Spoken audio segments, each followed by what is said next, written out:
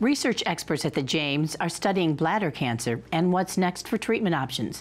Dr. Deb Sundi is here to explain. Bladder cancer starts in the lining of the inside of the bladder, a layer of cells called the urothelium. 80% of people are diagnosed with what we call non-invasive bladder cancers. Those are very highly treatable. We can treat those patients with chemotherapy washed into the bladder. For people with high risk non-muscle invasive bladder cancer, immunotherapy works well. We have a historic treatment called BCG that is highly effective. Immunotherapies take the brakes off of patients' own immune cells so the immune cells are, are freely able to attack the cancer cells. And because of this, BCG is a very highly effective treatment that cuts bladder cancer recurrences by half. Every case is unique seeking care at a tertiary cancer center, such as the James at Ohio State, doctors will have the benefit of collaborating with their colleagues to help make sure that your treatment is truly ideally suited to your specific case.